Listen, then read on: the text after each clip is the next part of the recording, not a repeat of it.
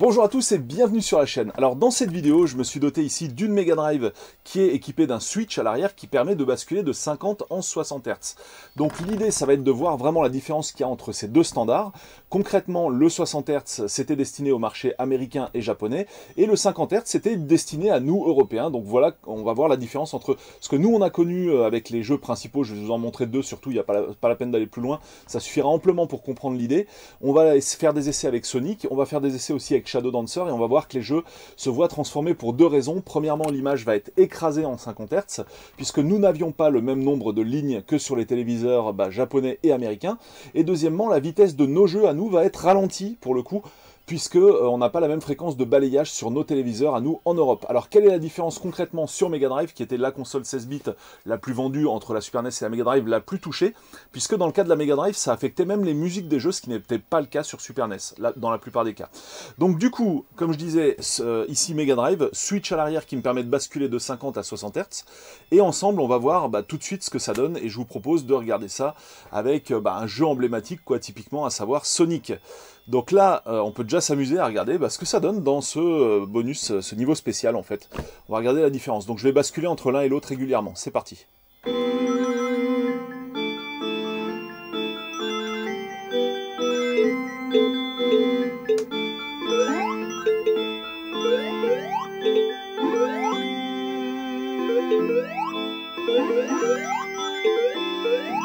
Voilà, là déjà vous avez pu avoir un aperçu donc dans le bonus stage de ce que ça pouvait donner en termes de rapidité, les, les fameux 20% de différence entre les musiques américaines et japonaises et nos musiques à nous en Europe. Maintenant on va voir ce que ça donne dans le premier niveau du jeu, c'est parti.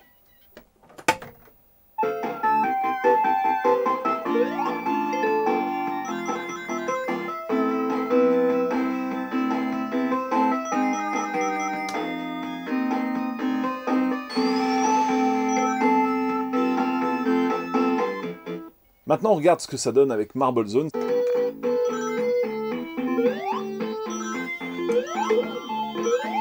Donc là, c'est ce que nous, on a connu. Et on va passer sur le standard US.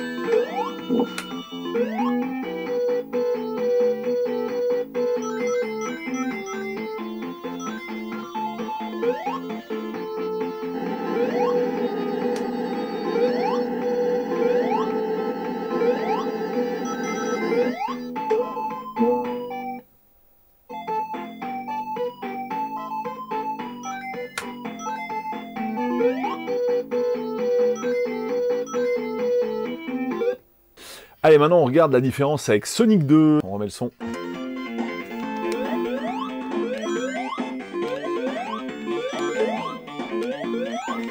Allez, en 60.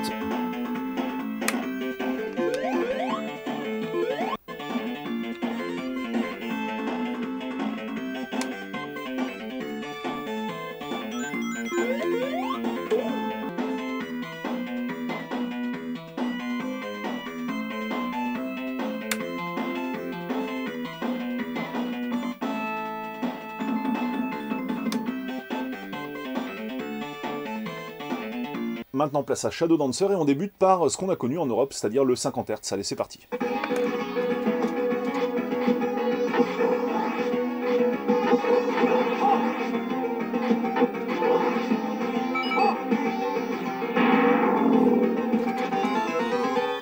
Allez, place au standard américain et japonais. Je vais switcher aussi pendant, vous verrez encore mieux.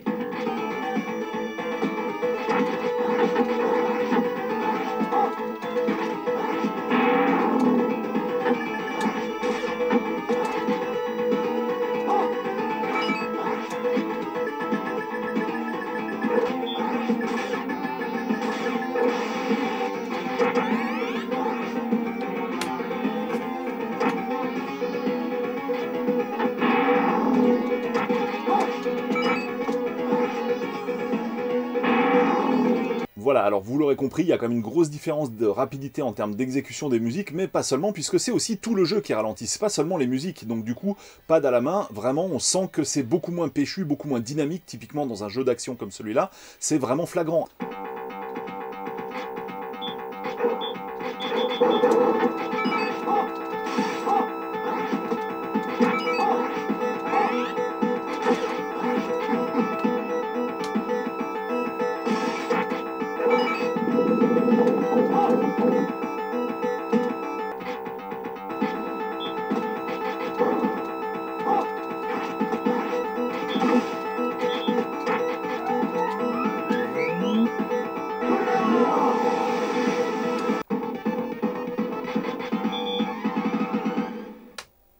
Allez, niveau suivant, on commence en 50.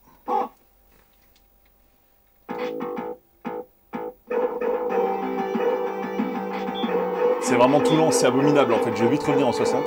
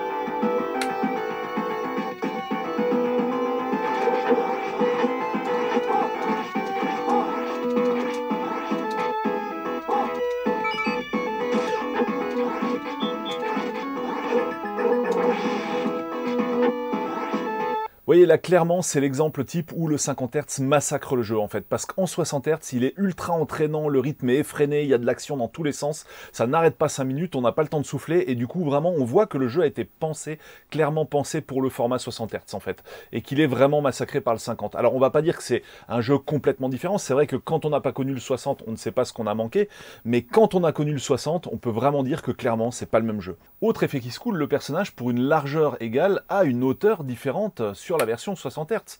Du coup, on a affaire à un perso qui est beaucoup plus grand, beaucoup plus élancé, qui est beaucoup plus joli, parce que bah, les proportions horizontales et verticales sont différentes dans la version 50 Hz. Alors, un petit avantage quand même, entre guillemets, au 50 Hz, c'est que pour les shoot'em up, par exemple, ou même pour les jeux d'action au rythme effréné, bah, c'était un petit peu plus facile en 50 Hz, puisque le jeu était 20% plus lent.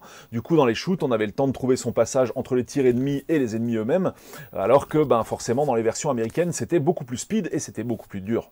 Pour terminer sur les trucs vraiment pas chouettes, sur Mega Drive, on avait des bandes qui n'étaient non pas noires, mais de la couleur de l'arrière-plan du jeu, ce qui était encore plus moche du coup que sur Super NES, où là quand même les bandes étaient noires, du coup elles se faisaient un peu plus oublier sur nos téléviseurs. Donc voilà pour ce petit comparatif du 50 Hz et du 60 Hz, quelles étaient les différences concrètes sur Mega Drive, ben c'est, voilà, vous l'avez vu sous les yeux, en partant vraiment du matériel d'époque, c'est-à-dire la machine d'origine, pas d'émulation, et vraiment un téléviseur d'origine, et même un Trinitron, donc vraiment ce qui était la meilleure configuration à l'époque. Voilà, j'espère que ce petit comparatif vous a plu, qui vous a permis d'en savoir davantage sur le 50 et le 60 Hz sur Mega Drive, parce que bah, soit vous avez peut-être tout simplement pas connu l'époque, ou même si vous avez connu l'époque, vous avez peut-être jamais eu de console switchée et vous n'avez peut-être jamais pu constater la différence par vous-même. Salut à tous et à bientôt pour d'autres vidéos.